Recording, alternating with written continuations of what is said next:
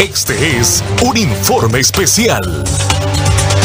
Atención a este reporte de lo ocurrido en Olancho. Allá han asesinado a un guardia de seguridad dentro de su vivienda en el barrio La Trinidad, en Catacamas.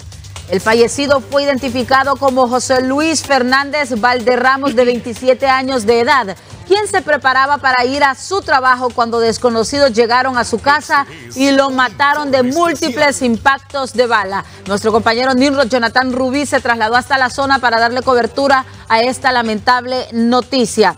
De igual manera, Ramón Maldonado, como avance informativo desde la ciudad de La Ceiba, nos reporta que una persona ha sido encontrada muerta dentro del río Danto.